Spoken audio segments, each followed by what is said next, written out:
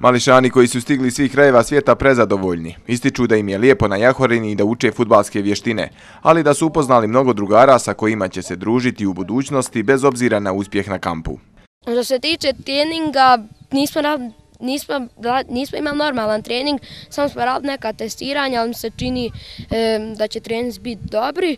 E, mi potruću se da zadovoljim trenere Crvene zvijezde. Meni se ovdje jako sviđa, našao sam puno drugova, družim se s njima, treneri mi, le, mi, mi se sviđaju i da, omiljeni klub mi Crvena zvezda i igrač Peda Grajković.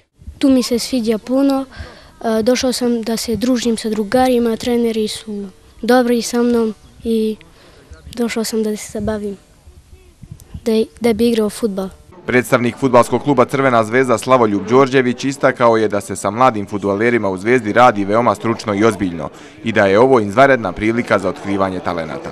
Crvena zvezda ima duplu korist od ovakih kampova. Prvo što, što jačamo brend i ime Crvene zvezde i donekle zadovoljimo e, navijače Crvene zvezde u ovom regionu. A druga stvar što kroz ovake kampove mi imamo uvid u decu iz regiona, gde e, eh, sam ja ubeđen da ima jako talentovane dece i da mi uz program koji u ovih 7-8 dana sprovodimo možemo da vidimo da li da li neko od njih ispunjava kriterijume Crvene zvezde.